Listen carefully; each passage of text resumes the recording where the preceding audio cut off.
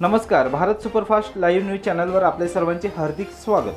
शेतकऱ्यांना पाठिंबा देण्यासाठी वंचितचे राज्यभर आंदोलन अनेक मुस्लिम संघटना आंदोलनात उतरणार.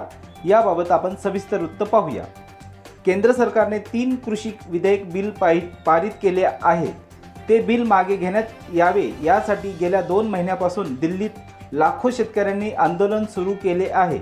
मात्र केंद्र सरकार त्यांना दाद द्यायला तयार नाही. या शेतकऱ्यांना पाठिंबा देण्यासाठी वंचित बहुजन आघाडी तसेच अनेक मुस्लिम संघटना येत्या सत्तावीस जानेवारी रोजी राज्यातील विविध ठिकाणी आंदोलन करणार असून त्यांना वंचित बहुजन आघाडीने पाठिंबे दिल पाठिंबा दिला आहे. शाहीनबागच्या धर्तीवर किसान बाग असे आंदोलनाचे स्वरूप असेल याबाबत आपण अधिकृत जाणून घेऊया.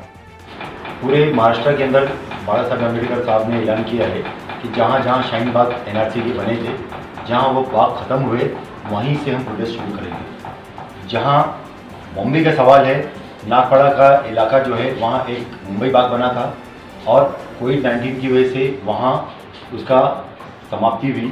बाला साहब ने ऑर्डर दिया है कि उसी जगह से हमको ये करना है, हम उसी जगह से करेंगे। डी सी साहब से बात हुई अभी, पुलिस डिपार्टमेंट के लोगों से बात हुई।